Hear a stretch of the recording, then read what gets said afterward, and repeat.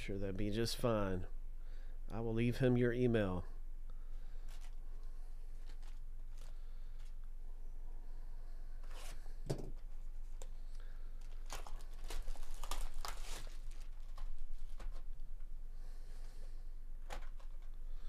Here's a Topps Chrome Platinum.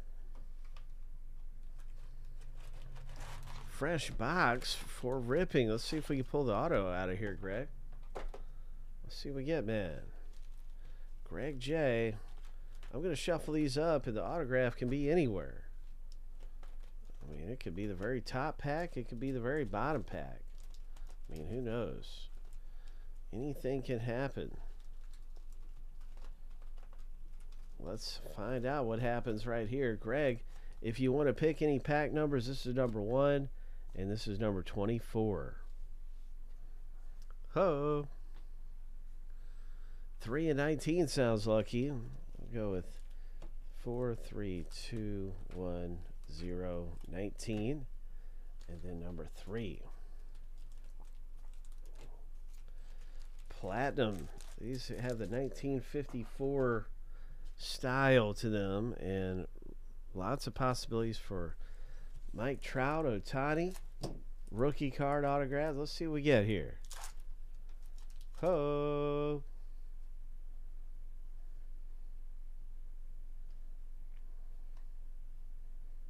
Legend of the game right there. Minnesota Twins. Maybe maybe he isn't a big legend of the game. Okay, he's born in '98. It looked like a throwback, but it's not. It's not. This is kind of my first look. I saw the black and white. But it's a nice refractor for you. Congratulations with a refractor, Jose Miranda.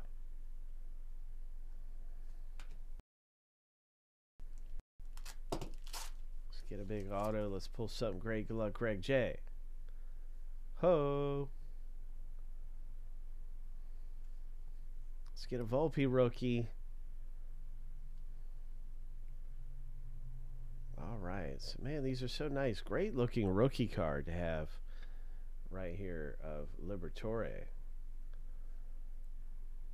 Really nice looking Topps chrome coming through.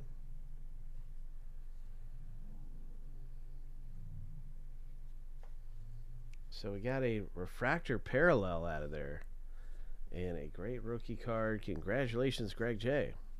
Hope